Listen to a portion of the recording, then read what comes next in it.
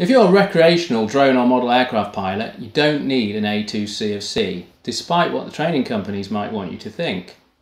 Under our Article 16 operational authorisation, FPV UK members can fly any drone or model aircraft up to 25 kilos. You can actually fly closer to uninvolved people than you can with an A2C of C.